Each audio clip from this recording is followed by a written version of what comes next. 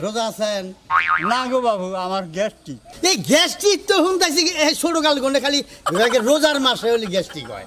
রোজার মাসে প্যাডের ব্যথা রোজার মাসে বমি আহে। এটা খালি ছোট কাল গন্ডে শুনতেছি বড় হয়ে গেলাম গা। হারা চলো আচ্ছা,